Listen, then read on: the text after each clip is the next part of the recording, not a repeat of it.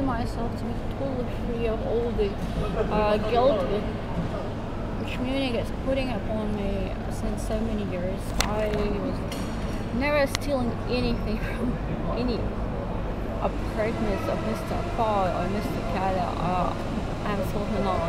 And please do not run to court every day and make me guilty for something, uh, something in order to get money. Uh, you probably stolen from uh, your employee or your job or your boss. So I am absolutely free of every guilt.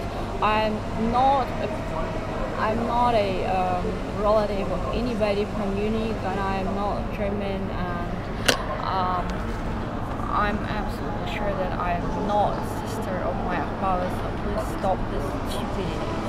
And I'm not a mother of Univis and I would like never to get in touch with this person stealing my uh, online data and my Really works for so many years being such a shameless person.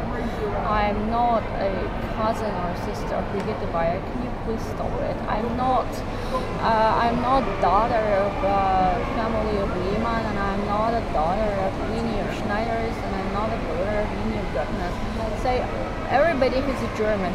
I'm not a part of your family. Please uh, relax uh, remove my name from the uh, list of your family members. I'm not paying you anything.